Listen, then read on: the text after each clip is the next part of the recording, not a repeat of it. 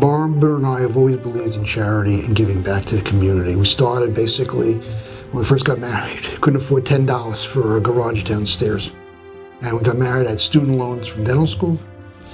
Um, my wife was teaching uh, uh, speech therapy in Newark, New Jersey.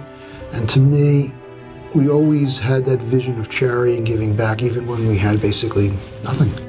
Jeff Feingold is a passionate advocate for providing educational opportunities to future generations. That's why he's been such a generous donor to the UT Health Science Center. Dr. Feingold is dedicated to serving vulnerable populations, especially the children of Texas. As I formed MCNA Dental, with a concentration on children's dental care, I not only became the owner, CEO, and founder of MCNA, but an advocate for children's dental care. We have tremendous outreach programs throughout the uh, states that we're in. We've had over 375 outreach programs emphasizing prevention and also getting the parents involved in their children's dental care because without the parents' involvement, it doesn't work.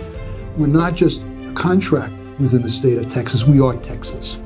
I commend Jeff and his lovely wife Barbara for their civic minded spirit in giving back to their profession and to our country. Their most generous contributions stand in tribute to both the School of Dentistry's proud legacy and its exciting future of continued preeminence that awaits it. To me, the involvement of South Texas is San Antonio.